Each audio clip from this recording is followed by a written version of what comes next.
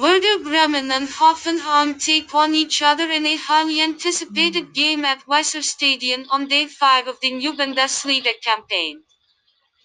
Der Werder have been in a fine form ever since they suffered a heavy 4-1 loss to Hertha in their opener, but the game against Hoffenheim will be anything but a walk in the park for the hosts.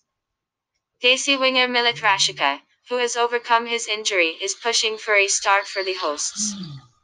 Hoffenheim, on the other hand, aim to bounce back from back-to-back defeats to the likes of Eintracht Frankfurt and Borussia Dortmund. Considering that the visitors head into the match following the Europa League encounter with Serbian champions Crvena Zvezda, home win should be considered. Andrej Kramaric, who was tested positive for coronavirus, is rated doubtful for the visitors. Prediction 2 1.